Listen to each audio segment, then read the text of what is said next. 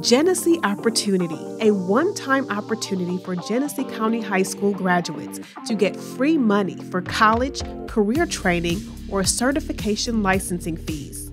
I got $1,000 and I put it towards my uh, tuition. Gabrielle Thompson graduated from high school in 2021. She says the GO stipend was a huge help as she continued her education to become a certified electrician. I was really excited because I didn't have to like spend money on school and I could use that money to go to like my tools and stuff like that. So it was really helpful. If you are about to graduate or graduated recently, all you have to do is complete and submit the online application at geneseego.org. There's no catch.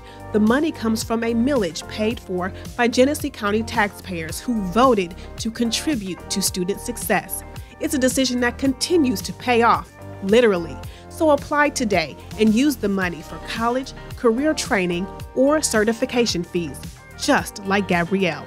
I applied for a couple scholarships in my high school, but I didn't get any of them, so this one's guaranteed. You just gotta do it.